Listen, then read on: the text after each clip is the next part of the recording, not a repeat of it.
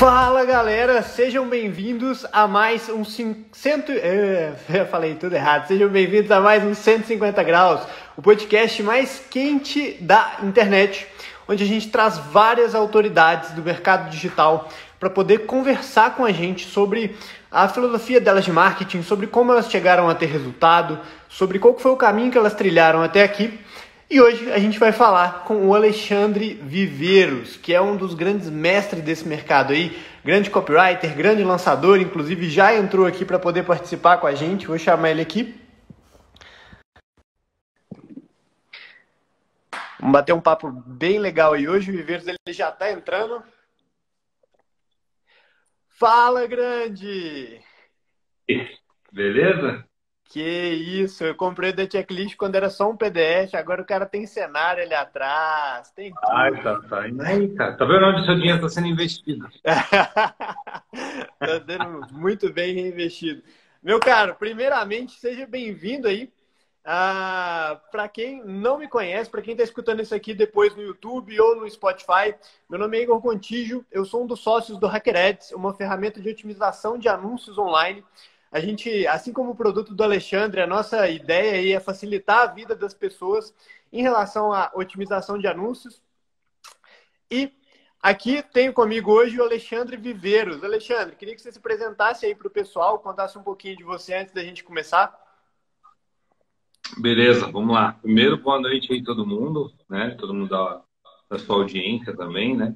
Como você já falou meu nome, mas só para fazer uma apresentação bem rápida, eu sou copywriter profissional é, desde os 17 anos, só que eu só comecei a ganhar dinheiro faz um pouco menos de cinco anos, mais ou menos. É, mas fazendo brincadeiras da parte, eu, na, na, verdade, eu sou copywriter desde os 17 anos, quando eu descobri que eu gostava muito de escrever. Toda a minha trajetória profissional envolveu escrita, né? Então, envolveu alguma coisa relacionada à escrita.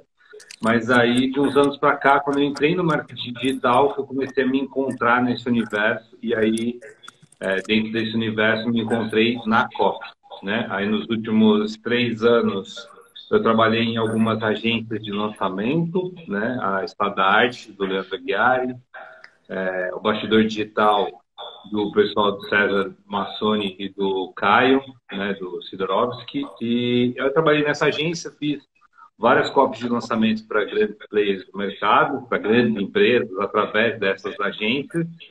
E basicamente foi essa trajetória até aqui, né? É, antes disso, eu também já tentei, é, já tinha, havia tentado fazer vários lançamentos, alguns deram certo, outros nem tanto. E como todo bom empreendedor, a jornada é árdua e, e, e machuca bastante ao longo do processo. Cara, legal. Eu comentei, eu comentei inclusive ontem que o, o Ícaro de Carvalho ele lançou a aula 200 lá do Novo Mercado e nessa aula ele conta exatamente o processo deles começando lá do novo mercado, lá no inicinho, passando perrengue, é, gravando com o notebook na sala, com a mulher passando atrás, o bebê chorando. E, cara, eu acho muito interessante porque a gente já tá no episódio. Esse aqui é o episódio número 10 desse podcast. Eu sempre peço pro pessoal contar um pouquinho da história. E gosto sempre de reforçar, pessoal, que toda vez vocês veem que não existe história bonitinha, não tem ninguém que chega aqui e fala: ah, não, cara, esse negócio aí de, de marketing digital, eu cheguei, acertei de primeira, três meses depois já estava já tava andando de Porsche. Nenhuma das pessoas que vieram aqui falaram isso. Igual o Viveiros falou, e agora começou com 17 anos e está ganhando dinheiro mesmo de verdade nos últimos cinco. Então, cara, só, só confirma mesmo que quem está aqui, quem tem resultado de verdade em todas as histórias, 100% de todas que eu já vi, foi a galera que resolveu mesmo bater a cabeça, insistir e quebrar ali até, até fazer o negócio dar certo, ou dar certo ou dar certo, né, Viveiros? Sim, sim, sim. pra, é, eu costumo dizer, né, uma frase, essa frase não é minha, mas eu me apropriei dela, que, tipo, pessoas teimosas dificilmente são fracassadas, entendeu? Tipo, o cara vai até conseguir. Né? E, e para quem o sucesso, para quem o fracasso não é uma opção, o sucesso é inevitável. Tipo, é só você continuar na jornada. Né? Cara, legal demais. E, galera, é, eu já falei, inclusive, do produto do Viveiros algumas vezes no meu story, já indiquei para várias pessoas, já falei com ele que, cara, deve ter no mínimo umas 10 pessoas aí que compraram por indicação minha. E eu acho sensacional a ideia do produto do Viveiros, que a ideia dele é simplesmente limpar o que confunde a galera que está tentando entrar nesse mercado. Então, quando você está começando, que você está completamente perdido ali, você não sabe para onde que você vai, o que, que você aprende primeiro, se é copy, se é marketing, se é tráfego, o que, que é, de quem que você compra curso, se você compra se você faz um curso gratuito, se você já compra o curso pago, de quem que você compra o curso pago. E o Viveiros uhum. olhou para isso tudo e falou, cara, não, não, não, não, não, não, para aí, para aí, para aí. Cara, toma aqui, velho, um passo a passo para você seguir, segue aqui e você vai estar muito melhor que isso. Ô, Viveiros, queria que você contasse um pouquinho para a gente do The Checklist, é, como que você começou com isso aí? Qual foi a Cara, ideia? A ideia, a ideia do The Checklist é, é, pegando o gancho do que a gente falou agora, né? Primeiro, o lance da história, né? O sucesso, o sucesso da noite por dia geralmente leva uns 10 anos. E eu acho que isso funciona para praticamente todo mundo, né? Você faz muito bem uma coisa por muito tempo e aí você se torna mestre nisso. Né? Então, você começa a. É igual andar de bicicleta, né? Nas primeiras vezes você cai um pouco, aquela coisa toda, dá umas raladas, mas uma vez que você aprende a andar, você não esquece mais. E aí, só que o que acontece nessa, nessa jornada, né? Você faz tão bem uma coisa, é tão piloto automático para você, que você acaba ignorando o fato de que outras pessoas não sabem ou não têm esse conhecimento que você tem, ou não fazem da maneira como você faz. E aí, nos últimos três anos, tendo feito esses 37 lançamentos e quase 100 milhões de faturamento para os clientes que eu trabalhei, e ressalto, tipo, para os clientes que eu trabalhei, né? O cara não, não, não enfiei 97 milhões no meu bolso. Gostaria, mas não foi tudo assim no meu bolso. Mas é, o grande lance é quando a gente está nesse processo e entra no piloto automático, você ignora que outras pessoas não têm a mesma jornada que você e não sabe o que você sabe. E nos últimos três anos, participando de todos esses lançamentos, eu observei um padrão, um padrão de tudo que eu fazia o tempo todo. E qual que era esse padrão? Era um bom e velho Excel com um checklist. Então, assim, só que isso não era, isso não foi automático para mim. Não foi uma coisa assim, ah, tive uma ideia de um produto. Não, o produto ele nasceu, né? A ideia do checklist ele nasceu muito antes do produto sair. Né? Então, tipo, ele, ele existia lá no checklistzinho bonitinho no Excel. E aí, a partir dali, eu fui fazendo isso e fui compartilhando com outras pessoas da minha equipe. Então, outras pessoas da minha equipe começaram a usar o meu checklist. Aí, outras pessoas começaram a usar o checklist. Daqui a pouco, o nosso time todo, ou, ou em todos os projetos que eu entrava, tinha a galera usando o meu checklist. E aí, beleza, isso anos se passaram, né? Então, eu sempre costumo dizer isso também no meu Instagram. É, tipo, eu não peguei, tive uma ideia, lancei um produto, e sim, eu esperei três anos, eu testei três anos, eu testei 41 vezes antes de falar, poder bater no peito e falar que o negócio funciona. E aí, beleza. Depois que eu vi que era isso que eu fazia o tempo todo, eu não ficava assistindo curso, eu não ficava vendo um monte de live, eu não ficava nada disso, até porque não é o meu perfil, é, eu via que eu sempre ia lá para o meu bom e velho Excel. Só que aquilo era um checklist né? Um checklist mesmo, de tarefa. Só que para transformar aquilo num produto, eu precisava é, teoria, é, pôr um pouco da teoria do porquê aquela atividade era importante. E assim começou a nascer o produto. Só que, ainda assim, eu não estava satisfeito com isso. Então, o que, que eu resolvi fazer? Eu resolvi pegar o meu Instagram pessoal, que tinha umas 200 pessoas, 200, 200, é, umas 200, 300 pessoas, na época, e eu comecei a abrir a caixinha de perguntas para deixar as pessoas fazerem perguntas para mim. Aí as pessoas faziam as perguntas para mim e eu respondia. Essa foi a minha produção de conteúdo. Tipo, nada de vídeo raiz, nada de um monte de estrutura. Nada contra isso. Até explico isso dentro da checklist. Mas não foi assim que eu comecei. Mas por que, que eu fiz isso? Porque eu queria testar a hipótese. E qual era a hipótese? A hipótese é a boa comunicação não é aquela que a gente quer vender, e sim o que a pessoa quer comprar. Então, eu precisava entender se o que eu tinha, o meu checklist, ele fazia sentido para as pessoas. E como eu identifiquei isso? Abrindo a caixinha de perguntas. E aí, várias e várias vezes, vinham perguntas do tipo: pô, Viveiro, você tem aí uma lista do que tem que fazer na etapa tal? E eu tinha. Ô, Viveiro, você tem tal coisa? Cara, por exemplo, você tem um checklist do que tem que ter numa boa página de vendas? E eu tinha. E eu realmente tinha, só que eu tinha ali no Excel. E eu sabia o porquê cada um daqueles itens estavam ali. Então, eu, eu abria a caixinha de perguntas, as pessoas perguntavam, eu respondia, produzia conteúdo, que era uma outra coisa que as pessoas tiravam sarro de mim lá no começo, tipo, produzir conteúdo respondendo pergunta. E aí, a partir daí, eu identifiquei o padrão. E uma vez que eu identifiquei o padrão, que as pessoas queriam uma lista de tarefas, e eu tinha essa lista de tarefas, foi só a questão de sentar, né, eu costumo dizer, sentar a bundinha na cadeira e colocar no papel. Só que aí eu queria, é, depois de ter feito, na época então, eu tinha feito 37, participado de 37 lançamentos. Quando eu fui lançar o produto, eu queria viver a experiência do zero de novo. Porque é muito fácil para a gente que sabe fazer, pô, botar um caminhão de dinheiro, fazer um lançamento interno e tal. E eu, e eu queria que as pessoas entendessem que é, eu tinha que usar o próprio checklist para lançar o checklist. E eu tinha que fazer sozinho, para poder provar para as pessoas que era possível fazer sozinho. Afinal de contas, uma das premissas do produto é essa, né? Do cara tirar o projeto do papel e, e, e colocar no ar. Então eu sentei e falei, cara, qual a melhor coisa que eu posso fazer, da maneira mais rápida que eu posso fazer, para entregar? E aí eu pensei, bom, eu sou um copywriter. As pessoas que estão me seguindo são copywriters ou lançadores, que eu também identifiquei esse padrão. Logo, a melhor maneira de entregar esse produto é um PDF. Por que um PDF? Porque o copywriter leem, entendeu? então, se copywriters leem, é para esses caras que eu vou escrever. E é um produto que eu leria, né? Que eu usaria para mim, que eu uso, né? No fundo eu uso. Então eu peguei, simplesmente sentei e falei, vou escrever um PDF. E uma outra coisa legal de escrever um PDF é que uma vez que você senta para escrever, você se força a seu objetivo. Porque se a gente deixa aqui um vídeo gravado, a gente fala aqui por horas. Mas a partir do momento que você tem que sentar e pôr no papel, você tem que ser ultra específico e só deixar o que realmente importa.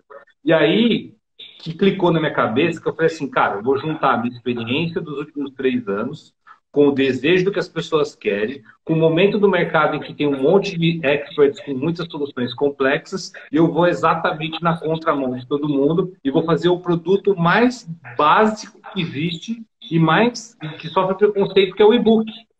Porque eu queria provar de que é possível. Qualquer pessoa pode escrever um texto e vender. Então eu pus no formato de e-book. Óbvio que eu entendia da minha audiência e sabia que ia funcionar para minha audiência.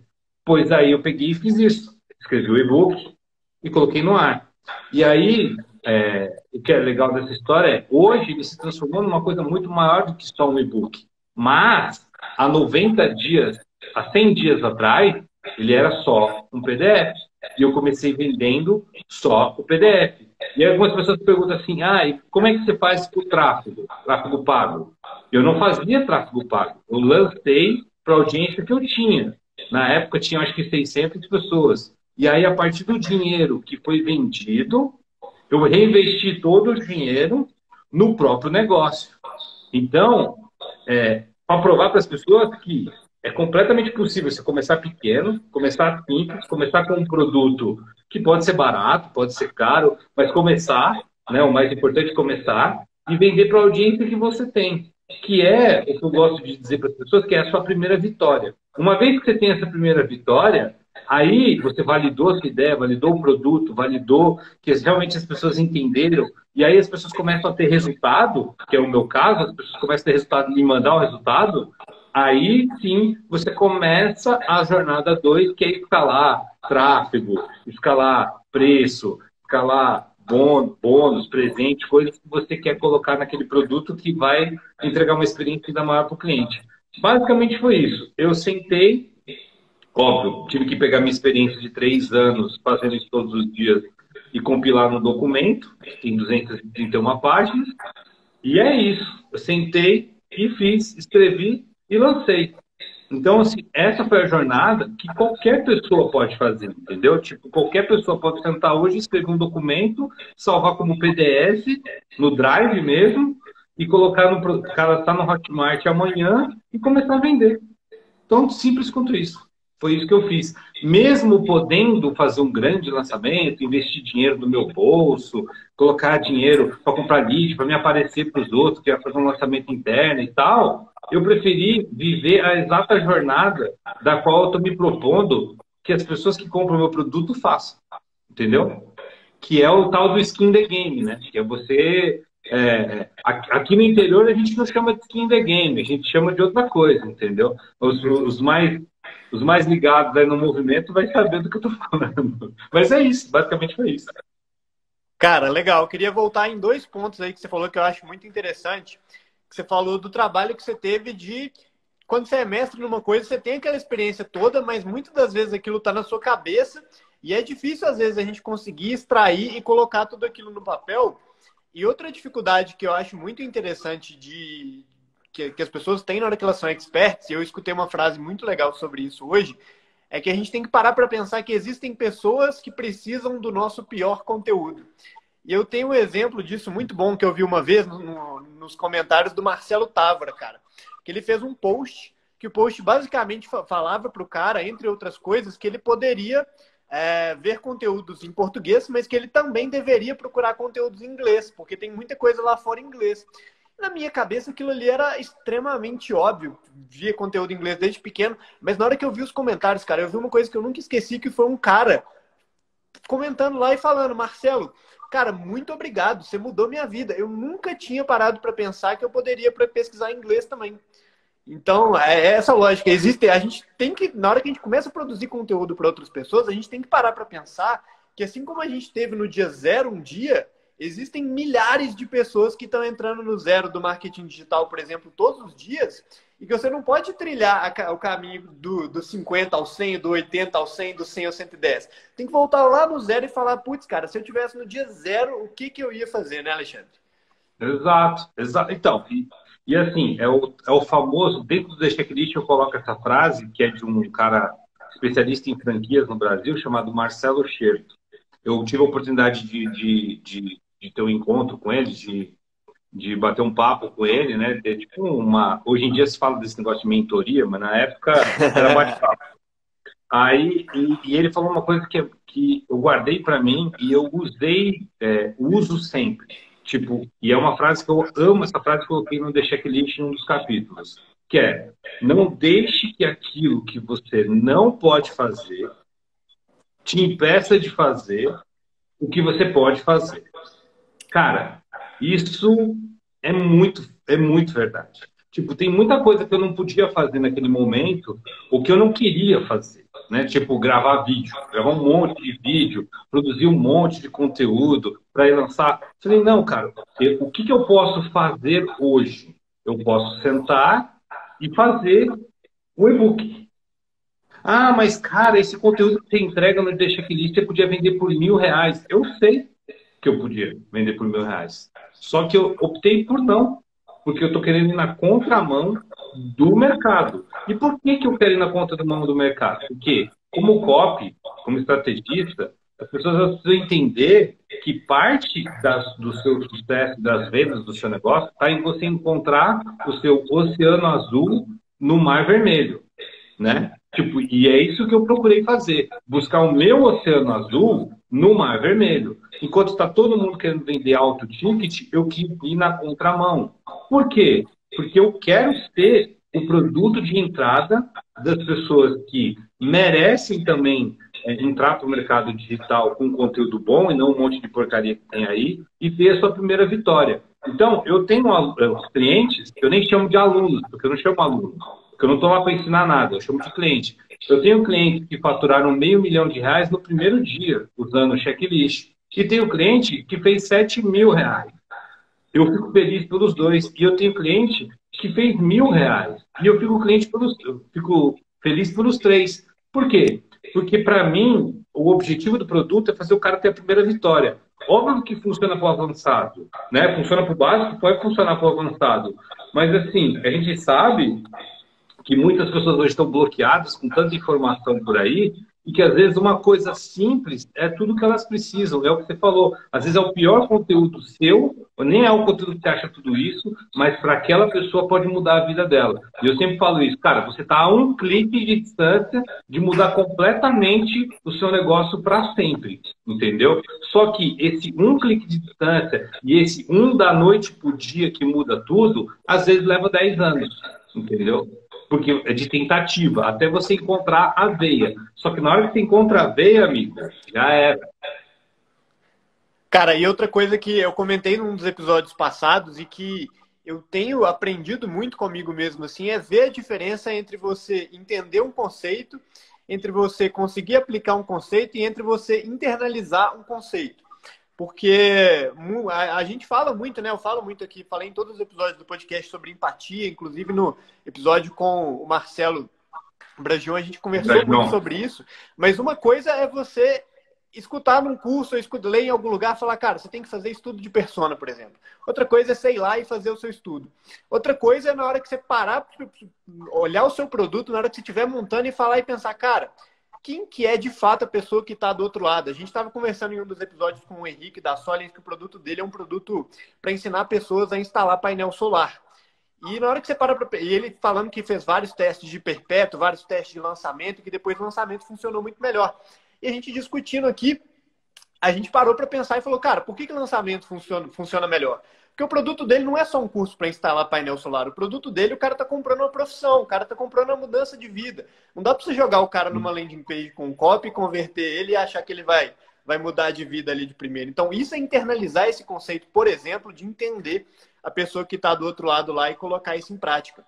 E uma coisa que eu acho muito legal, galera, que eu, que eu gosto de comentar do produto do Viveiros e que eu uso sempre como exemplo também, é que ah, uma das coisas que a gente explica em relação à Big Idea, né, do que a gente fala, por exemplo, de, de não fazer mais do mesmo, né, Alexandre? Que é um erro que, que o pessoal comete muito, não, não enxergar de fato que quem está do outro lado ali está sendo impactado por um bilhão de conteúdos por dia, que se você fizer mais do mesmo, você vai ser só ignorado. O Alexandre ele conseguiu colocar, na, minha visão, ele conseguiu colocar muito bem em prática no produto dele essa, essa questão da Big Idea, porque uma das maiores características da Big Idea é que ela tem que ser uma ideia que ela é instantaneamente compreendida. E qual que é a Big Idea que o Alexandre colocou no produto dele? Você não precisa de um curso, você precisa de um checklist. Eu, na hora que eu li isso, eu falei, putz, comprei. Porque, cara, é, é justamente isso. Você para, lê aquela frase ali e você já entendeu tudo que está por trás. Se você não lesse a página de vendas inteira, lesse só aquela frase ali, você já podia clicar em comprar. E para mim, você conseguiu colocar isso muito em prática. Então, eu queria que você falasse um pouquinho sobre esse processo de criação da Big Idea do produto em si. Show. Show de bola. O processo de criação da Big Idea. A primeira coisa que eu sempre falo sobre a Big Idea é que a Big Idea ela só é uma Big Idea de verdade depois que você testa e você vende. Né? No caso, testar, o que eu quero dizer é vender, vender. Assim, até o momento que eu abri a, a, o carrinho, vamos dizer assim, para vender o The Checklist, ele era só uma ideia. Ele vira uma grande ideia a partir do momento que eu começo a vender todos os dias. Aí ele vira uma ideia legal. E ele vira melhor ainda uma big idea quando as pessoas que compram, compram a causa por trás daquilo. Tipo, eu recebo vários depoimentos. Você mesmo já mandou mensagem para mim. Cara, essa ideia de ser uma coisa mais simples, é uma parada muito forte. Tipo, vira uma causa. Isso é uma grande ideia, entendeu? É uma coisa pela qual as pessoas que compram, elas não compram só o produto, elas compram o conceito, entendeu? Big Idea vem de conceito. Tipo, o que é o conceito por trás daquela campanha de venda de, do que você está você propondo? Fala. Não, tá, tá só escutando mesmo. Ah, tá. E aí, o que é interessante nisso é que você não começa o projeto com a Big Idea. Você começa com a idea, tipo, e são várias. Então você vai testando a comunicação até se chegar naquela que você fala assim, cara, é essa. Entendeu? Então, assim, no meu caso, como eu tinha um Excel, primeiro de tudo, começou, cara, é um Excel. É uma lista de tarefa, uma lista de tarefa, uma lista de tarefa, uma lista de tarefa. E aí eu sempre ficava com aquele sentimento, cara, eu vou fazer mais um curso, vou ser mais um cara que vai fazer o mais do mesmo desse mercado, de vender mais um curso para ensinar o cara a entrar no digital. Aí eu ficava nisso, o tempo todo batendo nessa coisa, falava assim, cara, eu vou fazer mais um curso. E de fato eu não queria fazer curso. Só que eu também não queria ficar fazendo um monte de mentoria, um monte de coisas. Tipo, eu também não queria fazer isso. Não queria fazer evento.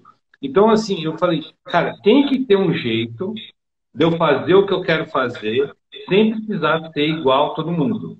E aí, um outro conceito que eu uso quando eu estou criando uma, uma big idea, ou quando eu estou desenvolvendo uma ideia, né, que até então é uma ideia, é pensar em coisas do senso comum. O que, que é o senso comum? Cara, o checklist, no caso, uma lista de tarefa, é um senso comum. As pessoas conseguem entender facilmente o que é uma lista de tarefas. Entendeu? Tipo, as pessoas, quando você traça um paralelo, por exemplo, é igual andar de bicicleta, você está traçando um paralelo com o senso comum. Porque quase todo mundo já foi criança, né? Como todo mundo já foi criança, né? Tem os caras que são chatos que não foram crianças. Mas a maioria das pessoas, como foram crianças, é, você passou pelo processo de andar de bicicleta. Assim como você passou pelo processo de seu pai levar você num cabeleireiro para cortar seu cabelo, entendeu? Assim como você passou pelo processo de aprender a escovar os dentes, a dirigir carro, são coisas da vida real que quase todo ser humano já passou. Quando você associa uma coisa que todo mundo sabe ao seu produto, fica mais fácil das pessoas entenderem o conceito, entendeu? Então, foi isso que eu pensei. Na, quando eu estava ali desenvolvendo a ideia, eu bati em duas coisas. Eu não quero fazer curso, não queria fazer curso de jeito nenhum. Eu não queria aluno, porque eu acho chato pra cacete ter aluno. Por quê? Porque aluno, aluno, ele quer aprender. E eu não quero que ninguém aprenda nada comigo. Eu quero que o cara pegue o produto, execute e tenha a sua primeira pequena vitória. E pode ter outras vitórias depois. Então, eu batia muito na questão, eu não quero curso, não quero aluno, e eu ficava pensando assim, cara, o que, que eu posso fazer que eu tenho na minha mão hoje que eu posso oferecer para as pessoas? Tem isso aqui, ó, lista de tarefas. E aí eu juntei as duas coisas. Eu falei, lista de tarefa é uma coisa que é senso comum. Curso é uma coisa que é senso comum. No nosso mercado está entupido, o nosso mercado está entupido de curso, está entupido de especialista. Aí eu falei, cara, e se eu usasse um outro elemento de copy que a gente gosta bastante, quem é copywriter, que é um inimigo comum?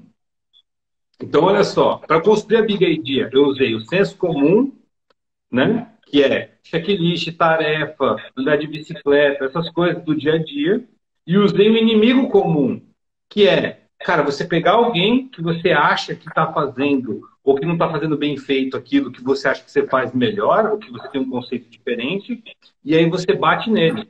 Então, ao invés de eu bater em um cara, eu bato no mercado todo de curso, entendeu? Tipo, de propósito. Mas não que eu quero que as pessoas fiquem com raiva de mim do mercado. Não, é para chamar atenção. Cara, tu não precisa de mais um curso. Você precisa de uma lista de tarefas, você precisa parar de aprender e ser o cara que executa. Então, o conceito por trás de tudo isso é para de aprender e começa a fazer. Eu até postei esses dias uma coisa que é muito a minha vida. Tipo, para de falar o que você sabe e fala o que você faz.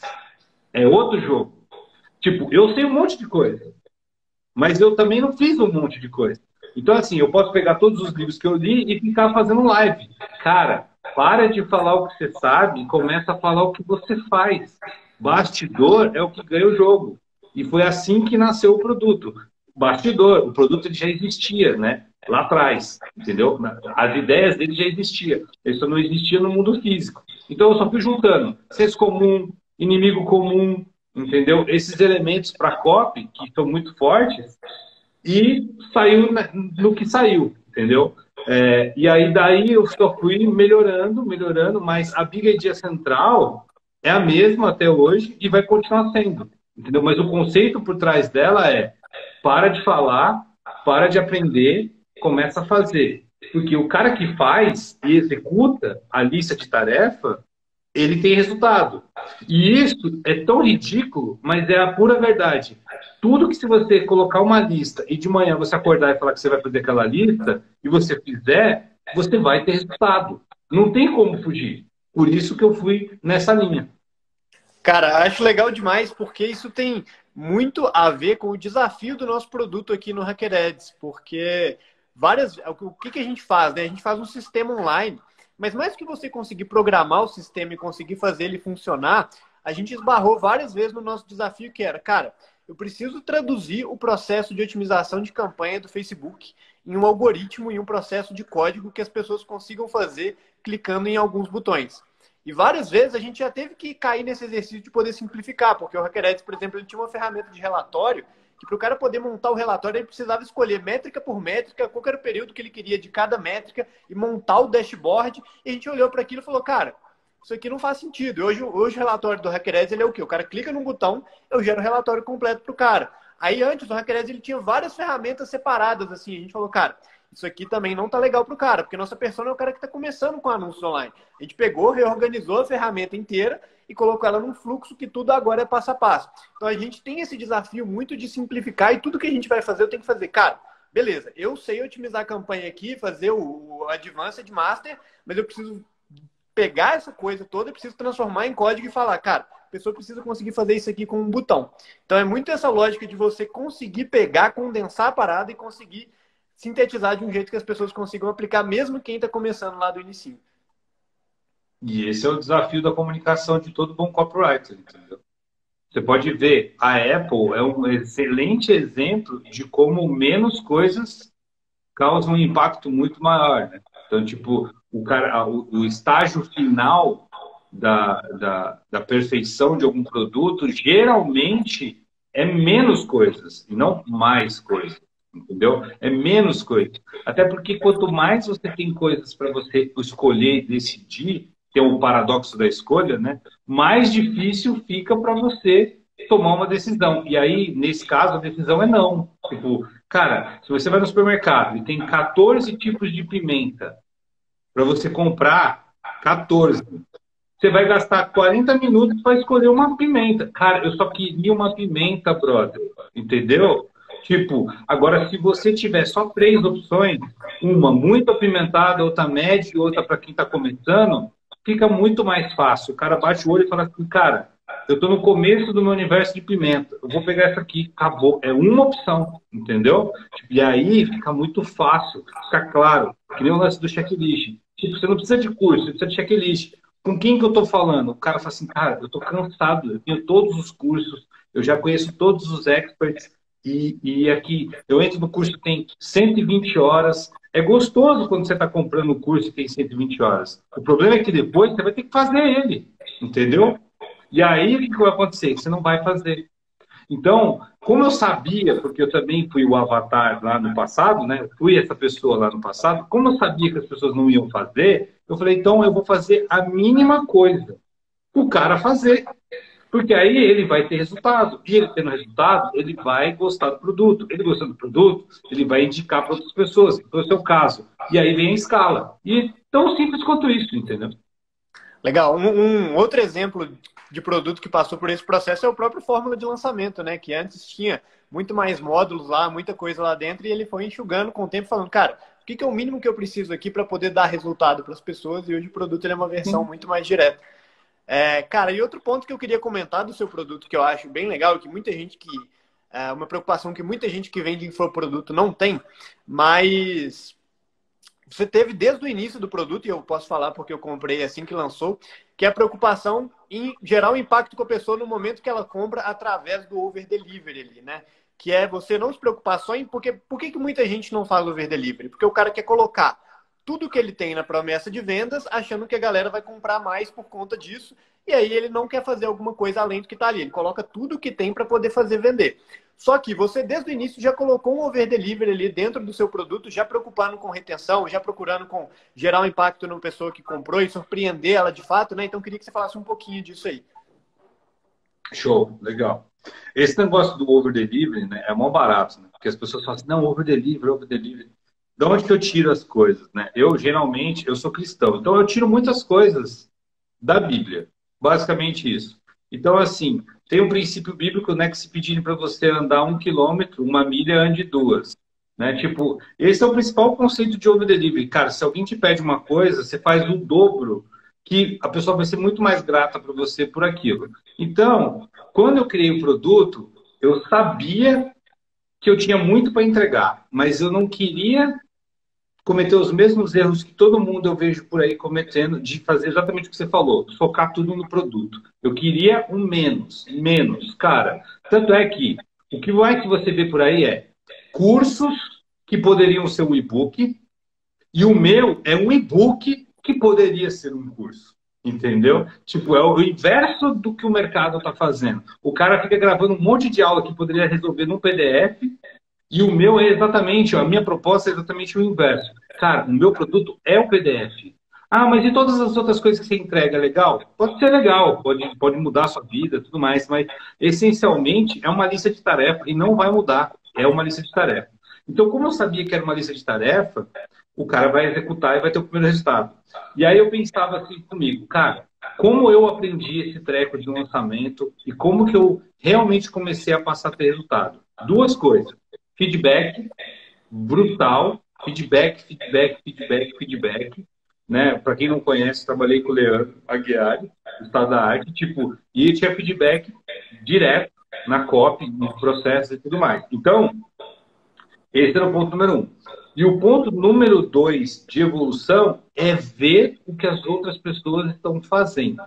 Então, o que, que eu fiz? É, peguei as copies que eu tinha feito e que eu sei que funcionaram, que deram resultado, e coloquei parte delas como um acervo para quem está lá dentro do produto, com o objetivo de o cara olhar para aquilo que eu fiz e te inspirar, e falar assim, ah, então é assim, ah, então aqui encaixa isso, então aqui encaixa isso, aqui encaixa isso.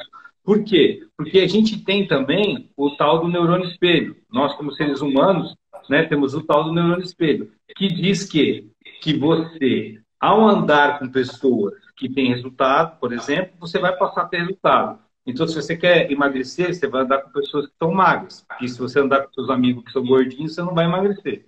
Então, no universo digital não é diferente. Se você anda com pessoas que têm resultado, você naturalmente vai ter resultado.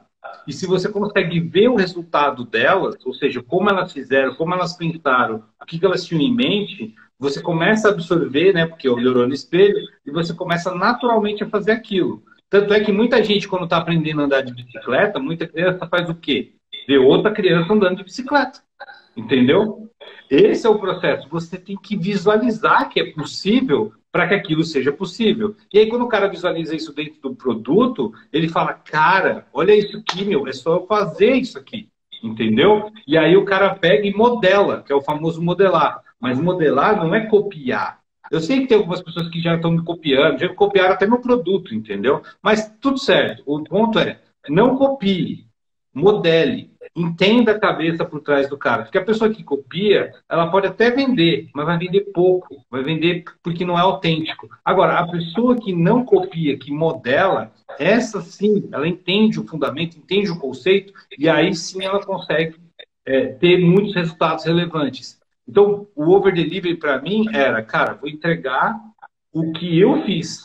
E, de novo, entra naquele princípio que eu falei agora há pouco. Não é o que eu sei, é o que eu fiz.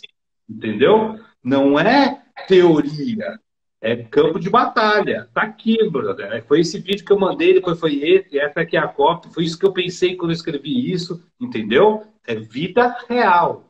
Não tem teoria. Não quero aluno, eu quero gente faca na caveira e vai para dentro no, sabe, faca no dente assim, ó, sangue no olho e vai para dentro do mato, entendeu?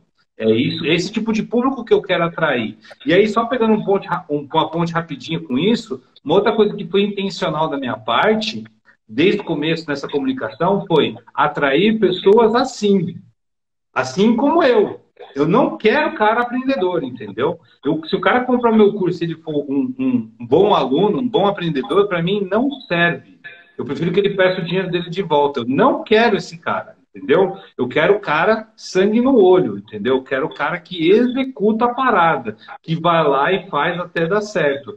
Então, isso na minha comunicação eu deixo claro. A maneira como eu falo, a maneira como eu posto, o meu produto, o que tem lá dentro do produto, a maneira como eu converso com as pessoas, a consultoria que eu forneço para as pessoas. As pessoas que contratam a minha consultoria, para você ter uma ideia, elas são muito parecidas comigo. Tipo, pô, Viveiros, pode regaçar e aí eu vou lá e arregaço a cópia do cara. E ele fica feliz. Por quê? Porque, cara, é isso que faz a gente ir para frente. E aí conecta o ponto do feedback que eu te falei. O que conecta é o feedback sincero. Não seu amigo falar assim, ah, tá boa essa copy. Não, cara, tá uma bosta, eu não entendi nada, entendeu? E aí você se internalizar aqui e falar, cara, não é uma crítica a mim, é uma crítica à comunicação. Então, tenho que mudar a comunicação. Ponto. Entendeu? Basicamente isso. Cara, eu achei legal que uma das primeiras coisas que você falou na hora que você foi explicar a ideia do produto é que você falou, tá, vou parar, vou olhar tudo que está todo mundo fazendo e vou pensar como que eu posso fazer diferente. Pessoal, para mim esse tinha que ser o passo número um de tudo sempre, porque não vale a pena você entrar ali para poder disputar o Mar Vermelho. Viveiros, e aí, por mais que você tenha resultado, por mais que você tenha a sua história toda, você não teria tão resultado, com certeza, se você tivesse lançado uma ideia como curso de copy do Viveiros, né? Seria mais um curso de copy aí. É, e eu até, eu até falo com o pessoal, eu falo, cara, minha vida ia ser muito mais fácil se eu lançasse um curso de Facebook Ads. Mas, primeiro que eu acho que uma ferramenta que faz isso em um botão vai ajudar muito mais pessoas. E segundo que é um negócio diferente que ninguém está fazendo. Igual você falou que já teve gente que te copiou, Cara, já teve, já teve player que tentou copiar. A gente copiou uma versão básica da ferramenta, o cara copiou o script do meu vídeo de vendas. Ele fala todas as palavras, palavra por palavra, e no final ele despede igualzinho eu despeço. Só que, eu até escutei uma frase do Flávio Augusto, acho que foi ontem ou anteontem, que foi um grande tapa na cara, que ele respondeu justamente isso. O cara perguntou, ah, o que, que você acha da galera que copia o modelo de, modelo de negócio da WhatsApp? Ele falou, cara, parabéns, mas o cara também tem que copiar a competência para poder executar igual. E aí que tá o negócio fazer um negócio diferente custa muito mais? Custa muito mais. Alguém pode te copiar? Pode te copiar. Mas só o cara que teve a capacidade de criar aquilo é que de fato é autêntico. E o cara que teve a capacidade de criar aquilo uma vez, se tudo der errado, se mil pessoas copiarem, o cara já está lá na frente, já está criando outra coisa. Então não tem problema.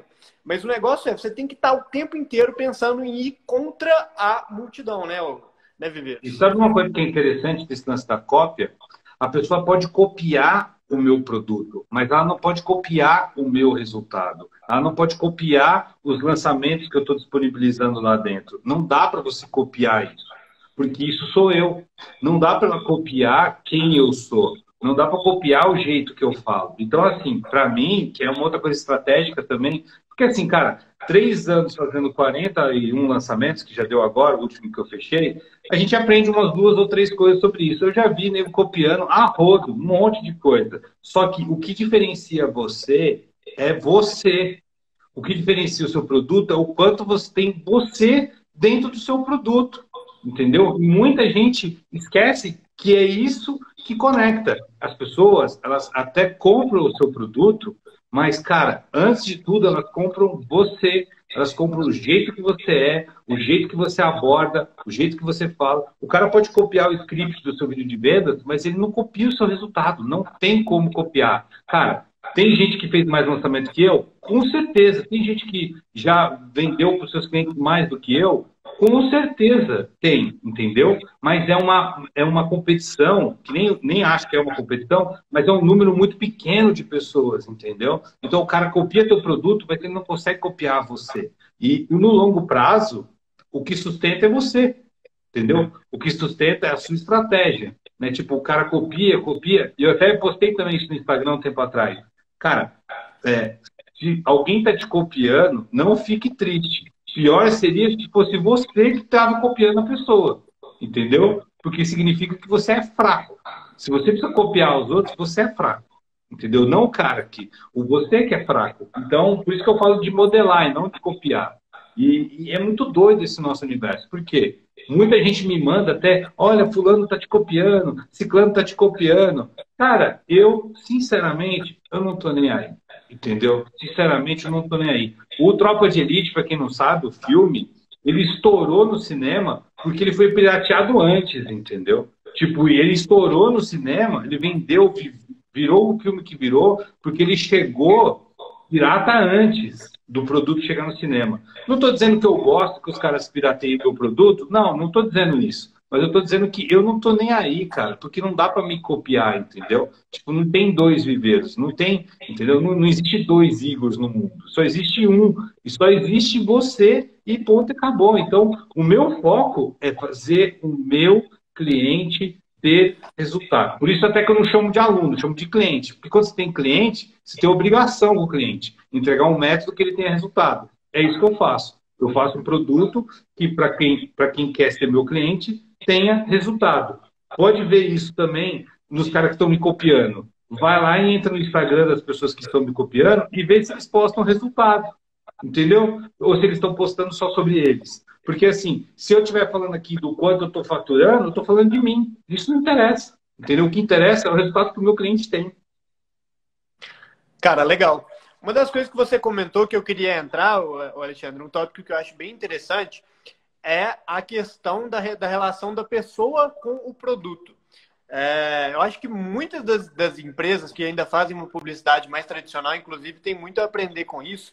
E até no, até no próprio HackerEd, você parar para pensar, o HackerEd ele é uma startup em si, né? não é um produto de um expert específico. Mas por que, que eu escolhi é, ficar à frente do produto, botar minha cara lá e produzir conteúdo no meu Instagram, pelo menos de início? Porque as pessoas elas não conectam com empresas, elas conectam com pessoas. Claro que tem umas empresas aí maiores, tipo a própria Hotmart, que não tem em si o, o cara lá que é quem produz conteúdo e é uma cara só da Hotmart. Mas, mas teve, mas teve. teve o João P, o, o, JP, era esse cara lá atrás. Em 2013, ele era esse cara. Inclusive, tem, tem uns vídeos dele fazendo, fazendo meio que um podcast com o Érico. Então, assim, cara, quando você está no início, que você não, principalmente que você não tem uma, uma verba gigantesca ali, a, tem várias estratégias diferentes, mas assim, cara, eu queria que você comentasse um pouquinho sobre isso, de como que, por que que essa relação de ter uma pessoa conectada ao produto e esse processo de conexão com as pessoas, por que que isso funciona muito melhor se você recomenda isso em todos os casos, de todos os tipos de empresa, ou se tem alguns que você acha melhor e outros não? Tá. Cara, assim, é, para quem está no começo da jornada, sem dúvida, sem dúvida nenhuma, em qualquer mercado, as pessoas elas conectam com pessoas e ponto, acabou. Porque é do ser humano, entendeu? Não é uma, não é um novo hack de marketing, entendeu? Tipo, é do ser humano. Cara, o ser humano ele precisa ver a parada, alguém fazendo, alguém interagindo, alguém que encabeça o negócio, entendeu? Então, para ele, faz sentido quando tem uma pessoa. Vende quando não tem? Vende também, entendeu? Vende também. Mas, por exemplo, até a própria franquia que você falou do, do Flávio Augusto. Cara, imagina se a WhatsApp seria o que a WhatsApp é sem a figura do Flávio Augusto, entendeu? Não seria, não seria o que é. Porque os franqueados não seriam que nem ele não teria o sangue no olho que ele tem, entendeu? Não teria a postura que ele tem. Então, por isso que eu sempre recomendo que negócios eles têm que ter cara, né? Tem uma frase que eu gosto bastante, esqueci o nome do cara agora, eu acho que é Simon Snack, um negócio assim, que é 100% dos seus clientes são pessoas. 100% dos seus funcionários são pessoas. Se você não entende de pessoas, você não entende de negócios. Então, basicamente, tem que ter alguém na parada, tem que ter pessoas envolvidas. E, e, e por que pessoas conectam tanto? Porque, além do lado humano, as pessoas têm histórias. E história é o que amarra tudo, entendeu? Eu sempre falo nas minhas copies que eu começo pela história porque a história é que amarra tudo. É a partir da história que eu tiro a promessa. Entendeu? Que nem eu te falei do meu produto. Cara, eu comecei com Excel. Ou seja, estou te contando uma história de como o negócio nasceu. Eu não sentei aqui e falei, ah, pronto, tirei um produto da cartola. Não, entendeu? É um processo, é uma história. Aí uma história conecta com a outra, que conecta com a outra, que conecta com a outra, aí vira um produto. Mas se você não tem história para contar, cara, você não tem nada, entendeu? E história tem que ter alguém envolvido. Óbvio que depois que você chega numa determinada escala, você vai chegar na, numa Nike, por exemplo, aí você já criou uma marca tão forte que a marca por si só ela vende muito. Eu estou criando isso aqui, vocês estão vendo, porque é intencionalmente um brand mesmo, entendeu? É uma marca, tipo é, é, é uma marca a ser criada, mas isso aqui é longuíssimo prazo. Hoje sou eu. Daqui a pouco vocês vão ver essa marca por aí, e aí vocês vão lembrar de mim ou do meu produto. Mas é uma construção, uma jornada de anos para chegar lá. Então, o grande ponto é, no começo tem que ter pessoas. Depois, a marca, ela meio que fala por si só. Mas mesmo as marcas que falam por si só, por exemplo, a Nike, E por que, eu dei o exemplo da Nike? Quais são as melhores ações da, da marca? São propagandas com pessoas. Entendeu? De novo, a gente volta para as pessoas. Eles contam a história do atleta, eles contam a história de superação de não sei quem, eles contam isso, contam, estão contando o quê? História. Entendeu? E história é o que conecta tudo. E até, até uma coisa que as marcas fazem há muito tempo, que é muito nesse sentido também, é a própria questão de atrelar a imagem de outras pessoas, pegar o, o Neymar lá como garoto propaganda para tentar trazer esse aspecto, né? Trazer a personalidade do Neymar, por exemplo, perto da personalidade da marca.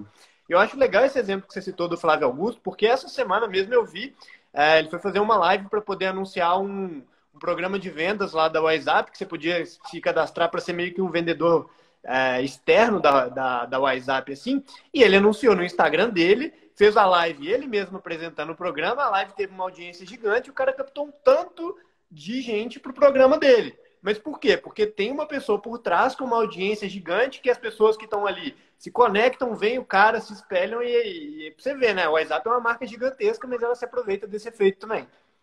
E porque o cara acredita, entendeu? Se você não quer fazer um comercial do seu negócio, você não quer aparecer, talvez você não acredite, entendeu? Então você precisa acreditar, o cara acredita, entendeu? Eu acredito no meu produto. E aí, quando você acredita no seu produto, você não tem problema em vender, porque você sabe que ele funciona. É tão simples quanto isso, entendeu? Quando você sabe que a sua ferramenta funciona, você não tem problema em falar para as pessoas, usa. Quando você vê alguma coisa boa, que nem você falou, ah, já recomendei o checklist para as pessoas. Quando você sabe que o negócio é bom, que o negócio funciona, você fala daquilo para outras pessoas. É um processo natural. O Flávio, não é um problema ele falar do produto dele, da empresa dele, mesmo ele não precisando ter mais o garoto propaganda, mas é porque o cara, ele transpira aquilo.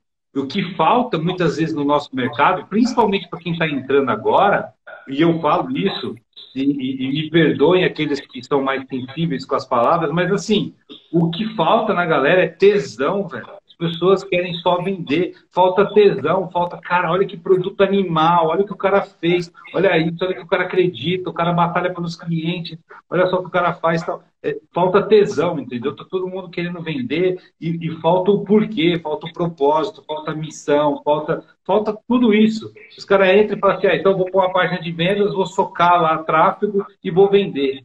Cara, e a estratégia? E a missão? E o propósito? Cadê, velho? Cadê? Você acha que o Steve Jobs realmente estava preocupado só em vender? Que ele não tinha uma missão? Você acha que. Sabe, tipo, é, é só pensar nessas paradas, entendeu? Tipo, de, de, de olhar para os caras que são bilionários, bilionários, e falar assim: você acha que o Elon Musk, que agora virou aí o quinto homem mais rico do mundo, você acha que ele está preocupado com quantos bilhões ele está ganhando mais agora? Cara, não se trata só de dinheiro, entendeu? Se trata de fazer coisas que as pessoas muitas vezes não querem fazer que nem eu fazer um e-book, é o tipo da coisa que sofre preconceito hoje na internet, porque tem tanta bosta, tanta porcaria, tanto produto bosta no mercado, que todo mundo começa a olhar e falar assim, ah, esse aí deve ser mais um. Só que aí, essa, na verdade, é a oportunidade de você mostrar para o mercado que você é diferente. Então, assim, e, e, de novo, falta o quê? Falta tesão. E se você não tiver tesão no seu negócio, daqui seis meses você não está querendo fazer live. Se tem cinco pessoas, dez pessoas, ou cem pessoas, ou mil pessoas na sua live, você tem que fazer com o mesmo tesão, porque você trabalha para essas pessoas. Eu trabalho para cada uma das pessoas que estão aqui nessa live agora. Falta tesão. As pessoas elas, elas só querem ganhar dinheiro, velho. Só querem ganhar dinheiro. Essa é a realidade.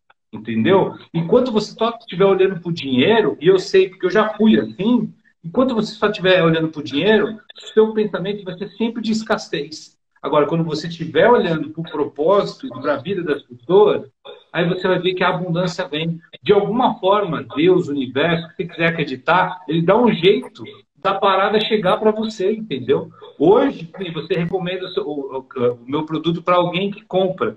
Então, assim, de alguma forma, chega para mim, entendeu? Aí o outro cara foi lá, fez meio milhão no primeiro dia.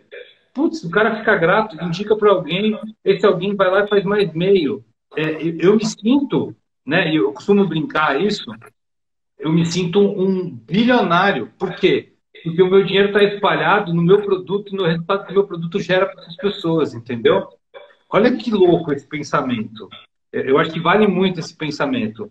Se você tivesse um bilhão hoje, muitas pessoas iam falar assim, ah, eu ia ajudar um monte de gente. E aí eu digo uma coisa para você, você já tem esse um bilhão hoje, velho. Entendeu?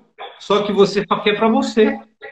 Entendeu? Você só quer para você. Então, assim, dá para você já começar a ajudar as pessoas hoje. Eu sei que eu poderia vender meu produto por 997, por quanto eu quisesse, mas eu optei por deixar que as pessoas que usem ele pelo preço que ele está hoje é que ganhem dinheiro e transformem a vida delas, a vida da família delas. E esses dias eu recebi um depoimento, sem sacanagem, cara. Eu até chorei porque foi muito forte.